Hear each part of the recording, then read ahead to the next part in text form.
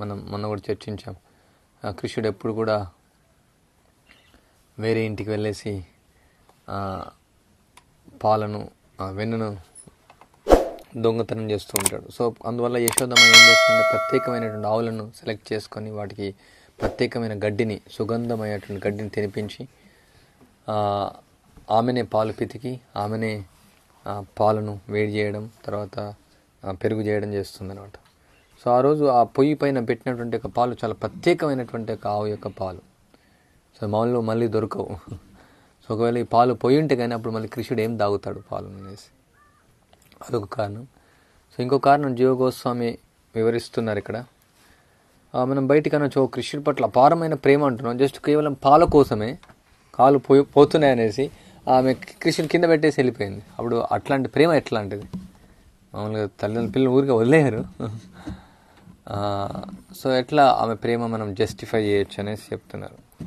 So ఇక్కడ యశోదమ్మకి ఆమె పూర్తి విశ్వాసం అంటే పూర్తిగా ఆమెకు తెలుసు అన్నీ కూడా కృషికి సంబంధించినటువంటివి. ఈశావాస్యం ఇదం సర్వం ఎత్కించా జగత్య సమస్తము భగవంతునికి సంబంధించినటువంటిది సో ఇక్కడ యశోదమ్మ ఇక్కడ పుత్రవాత్సల్యంతో మొత్తం అన్నీ కూడా గృహం అంతా కూడా ఆమె కృష్ణుడి కొరకే చూసుకుంటూ ఉంది. ఇప్పుడు తొమ్మిది లక్షల ఆవులు కూడా కృష్ణుడు ఎవరికోసం ఎవరి కోసం వాళ్ళ ప్రాపర్టీ అంతా కూడా? మన తల్లిదండ్రులు ఎవరి కోసం చూసుకుంటారు? చాలాసార్లు మనం ఎదుర్కొంటూ ఉంటాం జనాలు. మీరు యాభై సంవత్సరాలైంది ఇంకా కూడా కష్టపడుతున్నారు అరవై సంవత్సరాలైంది ఒక ఎనభై సంవత్సరాలైంది. ఇంకా ఎందుకు మీరు ఇట్లా అంటే యా మా పిల్లలకి ఏదైనా చేయాలనేసి వాళ్ళ పిల్లల కోసం ప్రాకులాడుతూ ఉంటారు. వాళ్ళకి తెలిసి ఇంకా ముసలోళ్ళు అయిపోయారు ఏం అవసరం లేదు అనేసి. వాళ్ళ వాళ్ళ అయిపోయింది. సో ఎప్పుడు పిల్లల కోసం వాళ్ళు చూస్తూ ఉంటారు. కొన్నిసార్లు వాళ్ళు చేసేటువంటి పనులు ఆ పిల్లలకు నచ్చవు. పిల్లలు కొన్నిసార్లు బాధ కలిగిస్తుంది. ఈవెన్ ఏ సమయంలో కూడా పిల్లలకు వాళ్ళు మందునిస్తారు. ఏదన్నా మందు చేదుగా ఉంటుంది. అప్పుడు పిల్లల కోపంగా వస్తుంది. సో ఇక్కడ ఓల్ పాయింట్ ఏంటంటే పేరెంట్స్ యొక్క డ్యూటీ తల్లిదండ్రుల యొక్కటువంటి యొక్క ధర్మం అక్కడ వాళ్ళ పుత్రుల యొక్క ప్రాపర్టీ అంతా సేవ్ చేయడం. ఇక్కడ మనం చూసాం ఒక ముసలాం వస్తుంది. మొత్తం వచ్చేసి ఆమె. అంటే ఆమె ఇప్పుడు ఆల్రెడీ చనిపోయేటట్టుంది బట్ ఎందుకోసం వచ్చింది? ఎట్లయినా రక్షించాలా? మా యొక్క పిల్లల యొక్క ప్రాపర్టీని ఆయన జాగాని రక్షించాలని వస్తూ ఉంటుంది. సో వాళ్ళు ఇంకా కూడా కష్టపడుతూ ఉంటారు. సో ఇక్కడ నందమహారాజ్ యశోదకు వాళ్ళకేం వాళ్ళ వాళ్ళ ఓన్ ప్రాపర్టీకి ఏం లేదు వాళ్ళకు. తొమ్మిది లక్షల ఆవులు కృషుడి కోసమే ఆ ఇల్లు కృషుడి కోసమే ఆ గృహ కార్యక్రమాలు కృషుడి కోసం అన్ని గృహ పరిచారికలు అందరూ కూడా కృష్ణుడి కోసమే. సో ఆ కృష్ణుడు చిన్న బాలుడు అందువల్ల మేము చూసుకోవాలా కృష్ణుడి యొక్క ప్రాపర్ ఆయనకి ఎట్లా చూసుకోవాలని తెలియదు. సో కాబట్టి అక్కడ పాలు పొంగిపోతున్నాయంటే అక్కడ వృధా అయిపోతున్నాయి. సో కాబట్టి అది కూడా కృష్ణుడికి సంబంధించినటువంటిదే. సో అందువల్ల కృష్ణుడికి సేవ చేయాలా కృష్ణుడి యొక్క ప్రాపర్టీని సేవ్ చేయాలా? ఆ పాలను పొంగిపోకూడదు అనేసి ఆమె రక్షించడానికి వెళ్తుంది. సో ఆ విధంగా అది కూడా ప్రేమనే. ఆ పాలను రక్షించడం కూడా ప్రేమనే. ఇంకో విధంగా చూడాలంటే. సో ఇక్కడ ప్రభుపాల వారు భాష్యంలో రాస్తున్నారు. కృష్ణ చైతన్యంలో మనం సేవ చేస్తాం. అన్ని అన్నీ కృష్ణుడి సేవ కోసమే. కానీ కొన్నిసార్లు ఏమవుతుంది ఆ, ఏది ముందు చేయాలో ఏది తర్వాత చేయాలో తెలియదు. అంటే ఒక సేవ కోసం ఇంకో సేవ వదిలివేయాల్సి వస్తుంది. ఒక్కొక్కప్పుడు మనుషుడు ఒకే ప్రయోజనం కొరకు ఉన్నట్టు అనేకము ముఖ్య కార్యములను ఏకకాలంలో నిర్వహింపవలసి వచ్చును. మనం రోజు చూస్తుంటాం ప్రత్యేకంగా మనం సంకీర్తన ఉద్యమాన్ని స్థాపించేటప్పుడు అంటే సంకీర్తన ఉద్యమం ప్రచారం కోసం స్థాపించేటప్పుడు కాదు ప్రచారం కోసం. సో ఎన్నో సేవలు ఇవ్వబడతాయి. ప్రభుత్వాల వారు ఎన్ని సేవలు ఇచ్చారు? పుస్తక ప్రచారం చేయమని చెప్పారు తర్వాత రథయాత్రలు నిర్వహించమని చెప్పారు ఉత్సవాలు నిర్ణయించమని చెప్పారు నగర సంకీర్తన చేయమని చెప్పారు శాస్త్రజ్ఞులకు ప్రచారం చేయమని చెప్పారు యువకులకు ప్రచారం చేయమని చెప్పారు మందిరాలు కట్టమని చెప్పారు తర్వాత ఈ నాస్తికులను నాస్తికులతో ఛాలెంజ్ చేయమని చెప్పారు పుస్తకాలు రాయమని చెప్పారు ఎన్నో సేవలు ఇచ్చారు ప్రభుపాల వారు అంటే ఒకే లక్ష్యం. లక్ష్యం ఏంది? కృష్ణ చైతన్య ఉద్యమాన్ని ముందుకు తీసుకొని వెళ్ళడం. సో తర్వాత ప్రభుపాల ఏం ఏకకాలం అందువలన పొంగుచున్న పాలన చేసేది మరి పుత్రుని విడిచాల్సిన లేదు? ఇక్కడ రాసారు పర కృష్ణ భక్తి భావనందు సమస్తం గతిశీలమైనది. పరతత్వ స్థాయిలో ఏ కార్యమును తొలత చేయవలనో దేని తర్వాత చేయాలనో భక్తుడకు శ్రీకృష్ణుడే మార్గదర్శకత్వము చేయును. సో ఇప్పుడు ఏ కార్యం ముందు చేయాలి? శీల ప్రభుపాలారు యూఎస్కి వెళ్ళారు అమెరికా వెళ్ళారు. ఆయన గురువు యొక్క ఆదేశం ప్రకారం చేయాలి ప్రచార ఉద్యమం. సో మొట్టమొదటి అప్పుడు ఏం చేయాలి ఆయన? ఫస్ట్ మొట్టమొదటి ఆయన సంకీర్తన స్టార్ట్ చేశారు ప్రసాదాన్ని వితరణ చేశారు. మా ప్రసాదం వండారు ఆయన కుకింగ్ చేశారు తర్వాత ఉపన్యాసాలు ఇచ్చారు తర్వాత రథయాత్రలు చేశారు. ఆ, శిల ప్రోపాల అప్పట్లో కొన్ని చేయలేకపోయారు అప్పటి సమయంలో. ఒకేసారి ఒకేసారి అన్ని కూడా నిర్వహించలేకపోవచ్చు. ఉదాహరణకు ప్రోపాల వారు మొదట్లో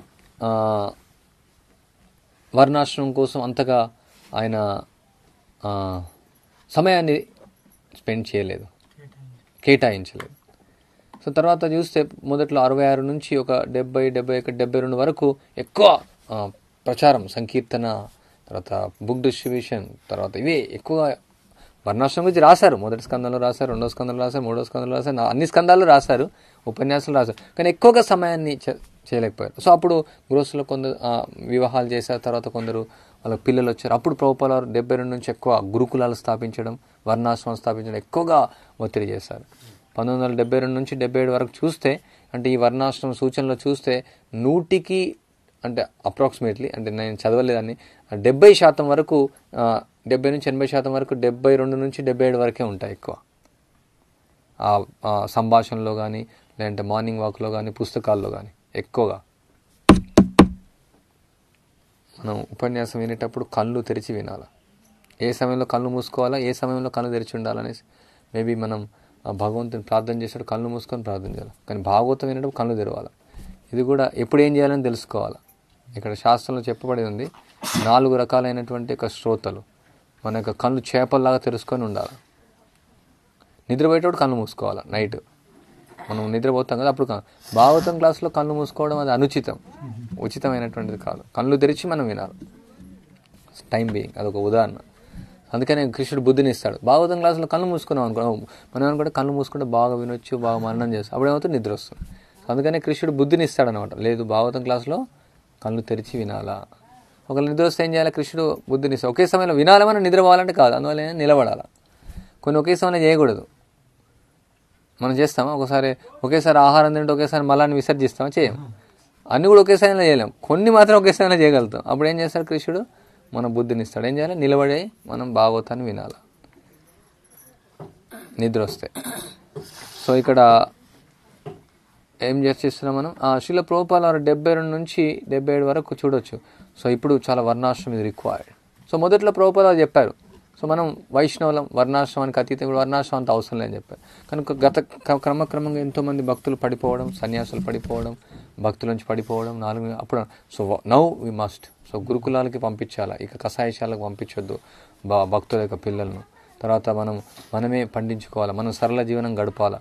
సో ఎన్నో ఎన్నోసార్లు కొన్ని వేల సూచనలు ఉన్నాయి వర్ణాశ్రమాన్ని స్థాపించడం కోసం. అప్పుడు ప్రభుపాల వారు వెస్ట్ వర్జీనియాకి వెళ్ళారు. అక్కడ న్యూ వృందావనంలో చాలా సమయాన్ని వెచ్చించారు తర్వాత గీతానగరి ఫామ్కి వెళ్ళారు. సో ఎంతో సమయాన్ని మొదట్లో చేయలేదు. మొదట్లో చే సో కృష్ణుడు ఆ బుద్ధి ఎందుకంటే మొదట్లోనే మనం అట్లాంటి వర్ణాశ్రమం గురుకుల అంటే మొట్టమొదటి ఉద్యమాన్ని స్థాపించాలంటే మనం కొన్ని ఏది ముందు చేయాలి ఏది తర్వాత చేయాలి తెలుసుకోవాలన్నమాట. సో తర్వాత శిల్ప్రభుపాల్ వారు చెప్పారు ఒకవేళ నేను ఈ యొక్క జీవించి ఉండాలంటే జీవించి ఉంటే ఈ యొక్క ఫామ్లకు కూడా తిరిగి నేను దీన్ని విజయవంతం చేయాలా? ప్రభుపాల్ వారు ఒకసారి శోకిస్తూ ఉంటారనమాట ప్రభుపాద మీరు ఎందుకు శోకిస్తున్నారు? మీరు ఎంతో ఉద్యమాన్ని స్థాపించారు ఎన్నో మందిరాలు స్థాపించారు ఎన్నో పుస్తకాలు రచించారు. ప్రపంచంలో కొన్ని వేల మంది కృష్ణ చైతన్యాన్ని స్వీకరిస్తూ ఉన్నారు. అంటే ప్రభుపాల చెప్తారు నాకు ఎట్లాంటి కోరిక లేదు ఎట్లాంటి ఆకాంక్ష లేదు ఎట్లాంటి దుఃఖం. ఒకటే ఏంటంటే ఈ యొక్క వర్ణాశ్రమాన్ని స్థాపించలేదు. అంటే ప్రభుపాలకు అప్పుడు సమయం లేదు ఎక్కువ సమయాన్ని. ఒకవేళ నేను ఒక జీవించి ఉంటే కానీ మొత్తం సమయాన్ని అంతా కూడా ఈ వర్ణాశ్రమాన్ని స్థాపించడానికి నేను వెచ్చించాలనుకుంటున్నాను ప్రభుపాల చెప్తారు. సో ఒకవేళ ప్రభుపాల మొదట్లోనే వర్ణాశ్రమ సాధ్యం కాదు. ఎందుకంటే ప్రభుపాల వారు అప్పట్లో ఫస్ట్ మొదట ఇది ఫోర్ ఫోర్ ఫోల్డ్ మూమెంట్ అంటారు. గాంధీజీ కూడా నాలుగు రకాలుగా నాలుగు స్థాయిలో వెళ్ళారు. సో ఇక్కడ ప్రభుపాల వారు మొట్టమొదట హరినామాన్ని ఇచ్చారు. తర్వాత తర్వాత ఈ యొక్క దీక్షను ఇచ్చారు. తర్వాత అర్చనను ఇచ్చారు. సో నాలుగోది వర్ణాశ్రమాన్ని స్థాపించడం. శిల భక్తి సిద్ధాంత సరస్వతి ఠాకూర్ యొక్క ఆయన ప్రచారంలో కూడా చూడొచ్చు. ఆయన ఏ విధంగా ప్రచారం చేశారు? శిల భక్తి ఠాకూర్ కూడా ఏ విధంగా చేశారని చూడొచ్చు. సో ఈ విధంగా కృష్ణుడు వాళ్ళకు ఆ, సో అందువల్ల ప్రభుపాల వారు ఏం చెప్పారు? ఇప్పుడు మీరు నేను యాభై శాతం చేశాను మిగతా యాభై శాతం మిగిలి ఉంది. సో మీరు దీనిపైన మీరు ఎక్కువగా అందుకే ప్రభుపాల ఫామ్ ఫామ్ ఫామ్ ఫామ్ అని చెప్పారు. ప్రభుపాల వారు ఎన్నోసార్లు చెప్పారు బుక్స్ బుక్స్ బుక్స్ బుక్స్ అని కూడా చెప్పారు. ఎన్నో చెప్పారు. అన్నిటికంటే పుస్తక ప్రచారం ముఖ్యమని కూడా చెప్పారు. అది కొనసాగించాలా? అప్పుడే విజయవంతం అవుతుంది. కానీ తర్వాత ఆ ప్రభుపల వారు ఏం చెప్పారు? ఆ ఫామ్ ఫామ్ ఫామ్ ఫామ్ అని చెప్పారు. సో అందుకే మనం అర్థం చేసుకోవాలి? కృష్ణుడి యొక్క తీవ్రంగా మనం ప్రార్థిస్తే తేషాం సతతయుక్తానం భజితాం ప్రీతిపూర్వకం. ఏది మనం ముందు చేయాలా? ఏది తర్వాత చేయాలని? ఎందుకంటే ఎన్నో మందిరాలు స్థాపించబడ్డాయి. ఎన్నో ప్రచారం అవుతుంది. ఎంతోమంది భక్తులు ఉన్నారు. ఎన్నో మంది చిన్న చిన్న పిల్లలు గృహస్థులకు పిల్లలు ఉన్నారు ఇప్పుడు వాళ్ళకి ఆశ్రయం లేదు. ఇప్పుడు యాభై సంవత్సరాలు అయిపోయింది మన యొక్క ఉద్యమాన్ని స్థాపించి. వాళ్ళకి ఆశ్రయం లేకుండా గృహస్థులకు పూర్తి సేవ చేయలేకుండా పోతున్నారు. మందిరాల్లో మనం నియుక్తం చేయొచ్చు. ఎన్ని వేల మంది కుటుంబాలను చేయలేం. ఎన్నో వేల మంది పిల్లలను మనం స్కూళ్ళకు పంపించలేం. సో ఎందుకంటే అప్పుడు ఏది ముందు చేయాలని మనం ఏం చేసాం? ఈ యాభై సంవత్సరాల్లో ఎక్కువగా ఓకే ప్రభుపాల వారు చెప్పారు ఇవన్నీ. ఉన్న ఫోకస్ అంతా కూడా దానిపైన పెట్టాం. దీన్ని నిర్లక్ష్యం చేశాం దీన్ని ఈ యొక్క సూచనను. సో అందువల్ల ఏమైంది? ఇప్పుడు చాలా కష్టమవుతుంది. ఇప్పుడు ఈ వర్ణాశ్రమం స్థాపించాలంటే భూమి ధరలు పెరిగిపోయినాయి. తర్వాత పర్యావరణం అంతా కూడా మారిపోయింది. మా ఆధునిక నాగరికత చాలా ఎట్లా అంటే ముందుకు వెళ్ళిపోయింది అన్నీ కూడా వ్యతిరేకంగా ఉంది. సో అప్పట్లో ప్రభుపాల సూచన మనం అర్థం చేసుకుని కృష్ణుడికి బుద్ధి ఇచ్చిండే కానీ అప్పుడు ఎక్కువగా ఈ యాభై సంవత్సరాల్లోనే కొన్ని వందల వర్ణాశ్రమ సముదాయాలు ఏర్పడేది ఇప్పుడు చాలా సులభం అయ్యేది సో అందుకనే మనం అర్థం చేసుకోవాలి. ఏది ఇక్కడ ప్రభుపాద ఏది తొలత చేయవలనో ఏది తర్వాత చేయవలనో భక్తుడు శ్రీకృష్ణునికి మార్గదర్శకత్వం చేయను. ఒక భక్తుడు చెప్తున్నాడు ఆ మన ఇంకా కృష్ణ చైతన్యం ప్రచారమే ఇంకా పూర్తిగా చేయలేదు. అప్పుడు ప్రణాశం ఎందుకు ఇప్పుడు ఆ తర్వాత చేద్దామని అంటున్నాను మనం ముందు ఇప్పుడు ఆల్రెడీ లేట్ అయిపోయింది యాక్చువల్గా చాలా లేట్ అయిపోయింది. అప్పుడు ఇంకా అంతా ఈ ఇంకొన్ని రోజుల తర్వాత ఇంకా మనం స్థాపించడం చాలా కష్టం అవుతుంది. సో అందుకే మనం కృష్ణుడికి ప్రార్థించాలి. ఏ సేవ మనం ముందు చేయాలి ఏ సేవ తర్వాత చేయాలి. మన దైనందిక సేవా కార్యక్రమాలు కూడా జరుగుతూ ఉంటుంది. కొందరు ఆ, వదిలేసేసి ఏదో సేవలు చేస్తూ ఉంటారు. తర్వాత యా కొన్ని సేవలు మనం కేటాయించబడ్డాయి. మన గురువు కొన్ని సేవలు ఇచ్చాడు. బట్ ఏది ముందు చేయాలా ఏది తర్వాత చేయాలా కొన్నిసార్లు మనం సంకట పరిస్థితుల్లో ఉంటాం. డైలమాలో ఉంటాం. ఏమంటారు తెలుగు డైలమా అంటే? సందిగ్ధ అవస్థలో ఉంటాం. కన్ఫ్యూ ఇది ముందు చేయాలి అది అది ముందు చేయాలి ఏది ముఖ్యమైనది. సో అప్పుడు ఏం చేయాలి మనం? కృషిని ప్రార్థించాలా. ఎందుకంటే అన్నీ ఒకేసారి చేయాలి. ప్రతిరోజు ఇప్పుడు మనం ఉదాహరణకి ఇక్కడ ఈ కూర్మ గ్రామంలో ఈ వర్ణాశ్రమం స్థాపిస్తున్నాం. కొన్నిసార్లు ఎవ్రీ రోజు మనకు అదే ఉంది. ఫస్ట్ సర్వే చేయాలా తర్వాత ఇల్లు కట్టాలా లేదంటే వ్యవసాయం చేసుకోవాలా లేదంటే పళ్ళ మొక్కలు పెట్టాలా లేదంటే పూల మొక్కలు పెట్టాలా లేదంటే వంటగది కట్టాలా. చాలా కన్ఫ్యూజ్గా ఉందండి. ఏది ముందు చేయాలి కన్ఫ్యూజ్గా ఉంది. అంటే సందిగ్ధ అవస్థలో ఉంది. సో అప్పుడు ఏం చేయాలి మనం? కృష్ణుడికి ప్రార్థించాలి. ఏది తొలత చేయవాలా ఏది తర్వాత చేయాలి. అన్ని కృష్ణుడికి సేవనే. అన్ని కృషికి సంబంధించినటువంటి ఒక సేవనే. ఇక్కడ యశోదమయ్యి ఎందుకట్లా ఆమె వెళ్ళిపోయిందంటే కృష్ణుడి కోసమే. కృష్ణుని యొక్క ప్రీతి కోసం ఆ యొక్క పాలను ఆమెను ఉంచడం కోసమే వెళ్ళి ఆ పాలను రక్షించింది. ఆత్మహత్య చేసుకోకుండా. అంటే కృష్ణుడి సేవలు ఉపయోగించడం కోసం విజయమిత్రం చెప్పాడు. కృష్ణుడి సేవలో ఆమెను ఆ పాలను ఉపయోగించడం కోసం వెళ్ళి రక్షిస్తుంది అనమాట సో ఎంతోమంది ఆత్మహత్య చేసుకుంటూ ఉన్నారు. ఆత్మహత్య అంటేనే నుదేహమాద్యం సులభం సుదుర్లభం ప్లవం సుకల్పం గురుకర్ణదారం మయానుకూలేన నభస్వతేరితం భవ పువాన్ భవాబ్దిం నచరేద్ ఆత్మ ఎవరైతే ఈ యొక్క మానవ జన్మ సంప్రాప్తించిందో ఈ యొక్క నుదేహం ఇది దేహం సులభం సుదుర్లభం ఈ యొక్క ఆధ్యాత్మిక జీవితానికి చాలా సులభమైనటువంటిది.